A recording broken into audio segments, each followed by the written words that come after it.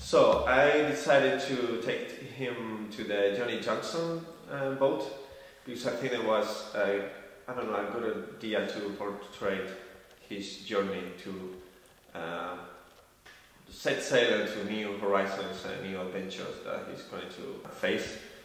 But the night before the photo shoot, I got a call from Niall Stokes, editor of Hot Press, just saying that we may have also an opportunity to get a few photos with him uh, where the interview was, was going to take place with Pat Carty. So I suggested David the idea of trying a nude photo shoot.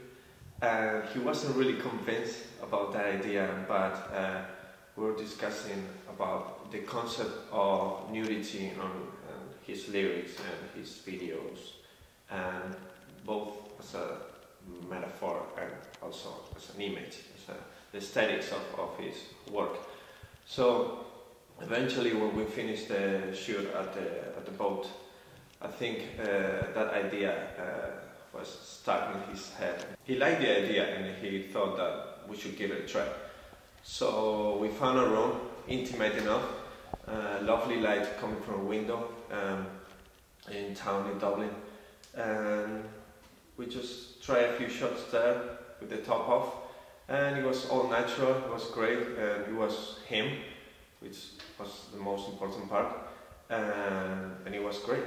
And I think eventually uh, it, it worked so well that he actually, I, I, got the feeling that he wanted that to be the shot, even though like, uh, I'm sure he loved the, the, the, boat trip in Dublin, but um, even though the boat didn't move, but um, uh, I, I, felt that, that that was him, and, and he felt like uh, that was part of his, I don't know, his, his image, his, his message. I think uh, both design and editorial team upstairs agreed that that was David. Uh,